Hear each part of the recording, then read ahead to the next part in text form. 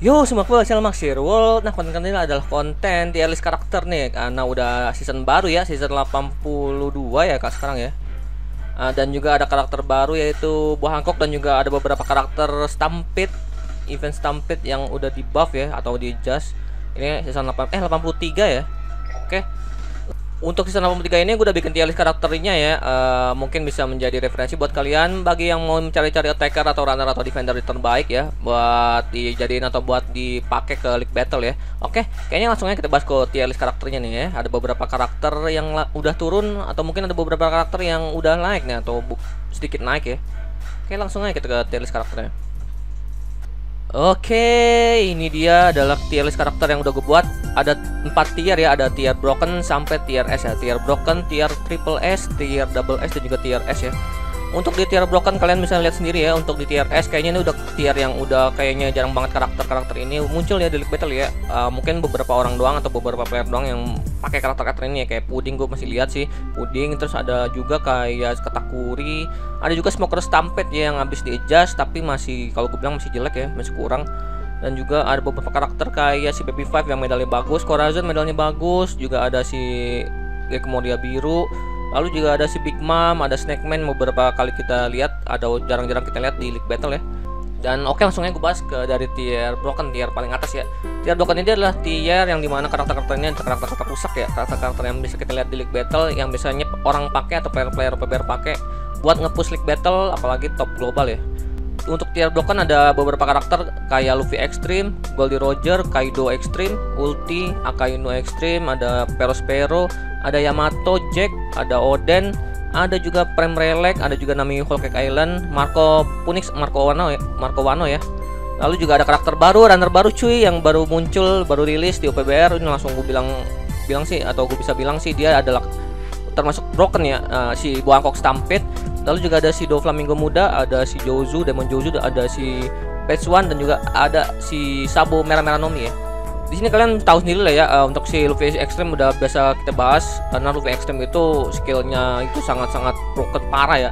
Dia sekali skill aja kalau misalnya kita nggak kena perfect dodge atau kita perfect dodge kita gagal itu bisa langsung mati tuh. Pokoknya Luffy Extreme udah mati lah ya di atas karakter-karakter lain ya. Tapi sebenarnya dia nggak segila itu ya untuk kondisi lawan car-car hijau dia tuh agak lembek ya. Jadi kayak Roger tuh bisa banget mau counter dia. Apa Oden juga bisa mau counter dia asal kita jangan kena aja tremornya dia tuh ya skill 2 nya dia. Aman dah tuh ya. Kita punya kamu sari atau punya Gan Modoki atau Ogen Ogen Totsuka. Dan juga kita punya Koi itu dari si Roger. Roger bisa nge-counter si Luffy Extreme sendiri ya dan juga Roger pun bisa ngelawan ekstrem-ekstrem lainnya ya kayak Kaido kayaknya Kaido kalau ketemu Roger udah bisa menjadi samsak doang ya Kaido ketemu si Luffy Extreme bisa menjadi samsak Kaidonya harus ngerti timing sih penggunaan skillnya ya biar nggak kena damage skill 1 dan juga skill 2 nya Lalu juga ada si Ulti ya. Ulti pun bisa nge-counter car di atas lagi ya. Kayak si Roger, kayak si Luffy. Kalau player-player ulti menggunakan skillnya dengan tepat, itu bisa banget ngekill para karakter-karakter ini ya.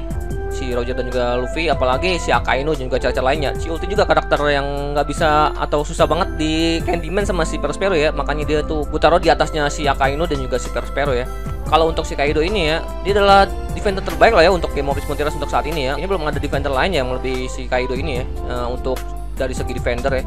Belum ada sih. Dan juga ada karakter-karakter lain kayak Akainu, Akainu sih masih broken sih. Akainu sih kalau ketemu cari-cari hijau, wah mimpi buruk sih. Dia kalau ketemu cari hijau, apalagi yang nggak punya multiple hits ya, itu wah bisa langsung ngap-ngapan lah lawan Akainu ya. Dan juga ada si Perospero ya cara-cara yang ngeselin cara-cara broken cara-cara ngeselin nih kayak gini nih. Si Perospero kayak Dovi sama Perospero nih. Dia masih nggak terlalu instant kill ya tapi pokoknya kalau dia udah kenain kombonya sekali aja ya, dia udah bisa dipastikan tuh cara kita udah mati ya nggak bakalan bergerak anjir. Jelas. Dan juga sini kalau kita lihat-lihat ya ada 1 2 3 4 5 6 Uh, 7 8 karakter attacker ya di tier broken. Dan juga ada 1 2 Eh, tiga empat empat karakter defender. Kayak kita kekurangan karakter defender broken ya uh, defender hijau nih belum ada nih di sini nih ya. Di deretan sini belum ada defender hijau.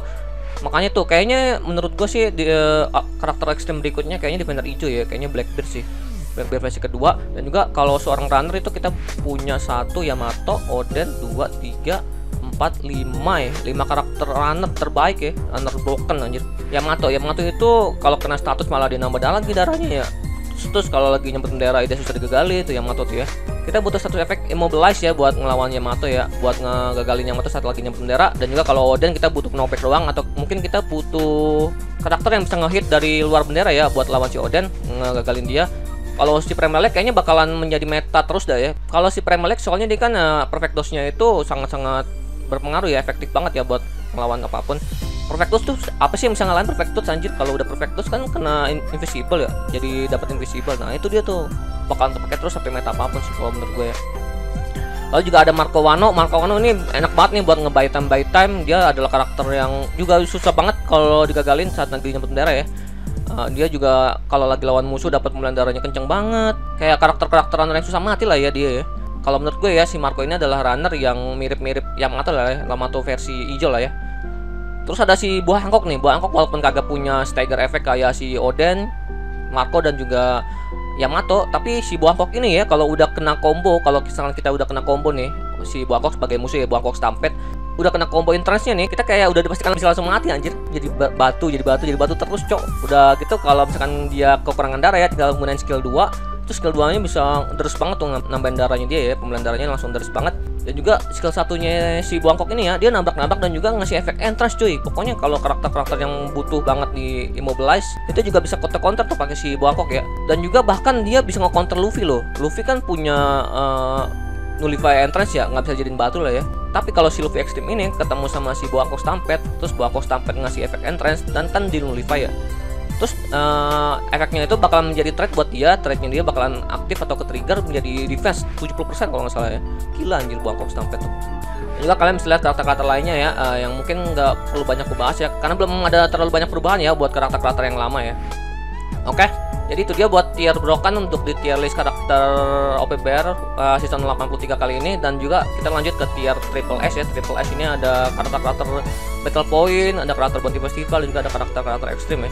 Ada si Miss Golden Week, ada si Osoba Max, Gatusop, Orobi, kita Nigashima, General Franky, Monet, ada Brock WCI, ada si lawan Nigashima, Sugar, ada Sengoku, ada si Prime Whitebird, ada si Blackbeard, ada si Luffy Onigashima, ada si Robin Enes Lobby, ada juga si Shiryu, terus ada si Jaji, ada si Sabo Stampede, uh, terus ada si Douglas Ballet, ada si Jackie, Izo, dan juga ada si Luffy Lau dan juga ada si Pel.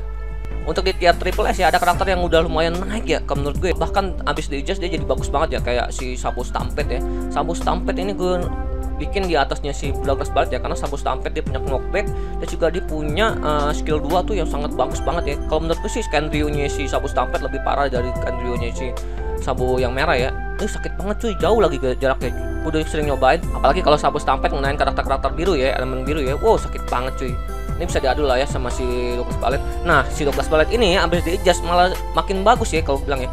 Abis di adjust di skill 2 nya tuh bakal ngasih efek buff defense kalau nggak salah defense apa sama attack gitu uh, buff yang skill 2 nya charge ataupun tanpa charge uh, skill 2 nya itu bisa ngasih efek tremor ya. Gila aja. Kalau menurut gue yang agak kurang dari si 12 balet itu adalah skill satunya ya. Kalau skill satunya punya efek knockback ataupun punya efek tremor itu sangat bagus sih. Jadi uh, bisa knockback bisa tremor be gigi gimang tuh bilang. Si 12 balet ya. Makanya si sabu stapet ini gue naikin di atasnya si 12 balet. Dan juga bagusnya lagi dari si Sabu Stampede ini ya. Dia pemulihan darahnya deres banget cuy. Kalau lagi mukul-mukul basic attack basic attack sekarang udah bagus nggak kayak dulu ya. Kayaknya yang diperlukan sama si Jackie uh, dari segi trade dan juga skillnya tuh kayak si Sabu Stampede ini ya. Dia punya basic attack yang lumayan bagus sekarang si Sabu Stampede nah Jackie tuh harus dibuff kayak gitu tuh.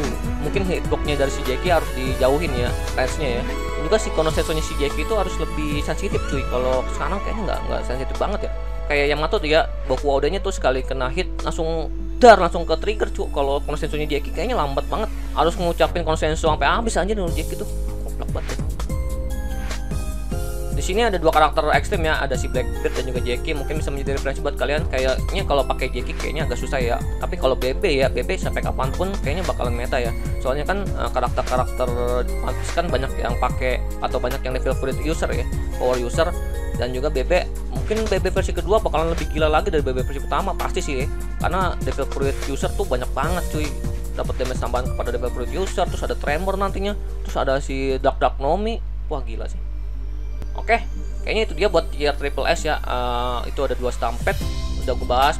Lanjut ke tier double S yang kayaknya si P0 Lucu udah mulai gue turunin ya dari tier triple S karena udah jarang banget kelihatan di League Battle.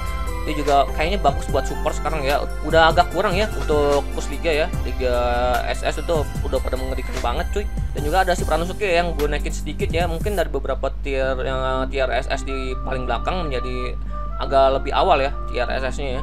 Si Pranosuke ini adalah salah satu karakter attacker biru yang menurut gue bagus ya uh, apalagi dia cari battle point doang dia bisa dipakai buat push league battle dah bisa menjadi referensi juga. Kalau mungkin kalian nggak punya tackle biru bagus terus punya Vanosuke udah bintang 5 itu bisa dipakai ya bisa di up ke bintang 6 GG sih. Dari skillnya mirip-mirip banget sama Luffy Onigashima ya. Uh, untuk itunya multiple hits ada terus juga nembak-nembak itu ngasih efek flame habis itu habis itu juga Fransuke ini punya pembelian mirip banget sama Luffy Onigashima lah pokoknya kayaknya si Fransuke ini adalah Luffy Onigashima versi attacker biru lah ya kalau bisa dibilang gitu terus ada si Marco S, Rayleigh, ada Vista, lalu juga ada Zoro Dressrosa, Kuzan, Kaido Ijo, lalu juga ada si Prime Garb, ada si Queen dan juga Monster Point Chopper juga bisa kalian lihat lagi ya eh, karakter-karakter ini bisa juga ada karakter-karakter lain yang bisa kalian lihat ini di tier double S ini ada karakter Battle Point, ada karakter ekstrim si Big Mom. Big Mom ini sebenarnya kalau dia di buff apa ya yang perlu di buff dari Big Mom ya menurut kalian tuh ya? Biar dia bagus lagi kayak dulu gitu. Soalnya sekarang karakter-karakter udah pada punya status nullify gitu kayak efek nullify nggak bisa kena shock nggak bisa kena Candyman nah, anjir. Jadi kocak banget sih Big Mom ini ya cuk. Tapi ya oke okay lah dia kalau buat lawannya mata deh. Bisa di shocknya matanya Oke, terus lanjut ke tier S. Ke tier S kayaknya nggak perlu banyak bahas karena tier S ini adalah tier-tier yang mungkin karakter-karakternya udah pada nggak kalian pakai, udah nggak pernah kelihatan di League Battle lagi. Karakter-karakter di tier S palingan kayak karakter-karakter ini buat nyari medalnya aja ya, buat kayak si Corazon, kayak si Kuma, kayak si Moria, si P9 Rokuchis, terus lalu ada X-Drake, ada dua Flamingo, ada Katakuri, ada Luffy Two Years, Set Two Years, Set Wano, segala macem lah ya. Terus ada si Smoker Stampede ya, menurut gue ya kalau setelah di buff pun dia nggak terlalu ngasih efek gede ya. Karena skillnya juga nggak terlalu kayaknya nggak terlalu kepake lah ya menurut gue ya. Apalagi si Smoker Stampede adalah karakter defender biru. Karakter defender biru tuh udah pada gigi-gigi semua cuy. Kayak si Jaji, General Franky yang punya status efek. Terus ada si Kaido, ada si Jozu udah pada gigi-gigi banget. Opsi terakhir lah ya kalau misalkan kalian bener-bener nggak punya tuh.